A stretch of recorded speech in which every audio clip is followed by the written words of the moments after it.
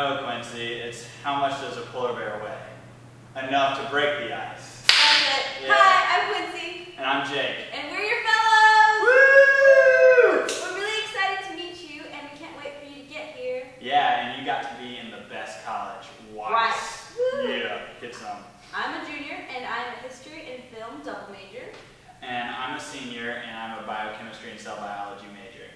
I'm actually not from Weiss. I'm from Marcel, but Weiss is so awesome that I decided to come here and be a fellow here.